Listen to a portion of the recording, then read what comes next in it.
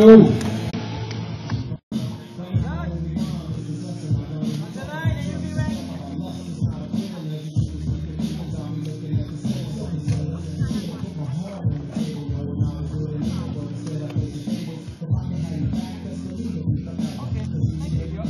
I get?